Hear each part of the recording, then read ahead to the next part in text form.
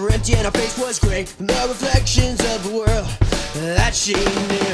That as she opened up her heart, as she opened her heart, you know the sun came shining through. It came bursting through.